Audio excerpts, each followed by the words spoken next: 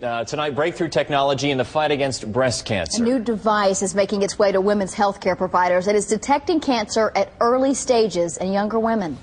Let's get you right in this room. Charlotte Duncan is 30, but breast cancer is top of mind. It took her sister's life. She actually passed away 11 years ago at the age of 30. Charlotte has had mammograms, but is trying the new Halo Breast Pap test to find out her risk factors. There you go. The machine uses warmth and pressure to bring fluid in the glands to the surface. Women have fluid in the ducts of the nipple, and the halo basically is like a massage that massages the ducts and sucks the fluid out of the nipple.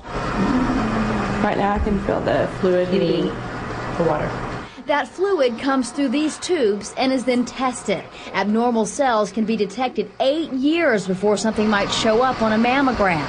Dr. Gail Lebovic, Director of Women's Services here at the Cooper Clinic in McKinney, says the halo is yet another advancement. If you just take a room full of women, we know one in eight of them will get breast cancer, but we don't know which one.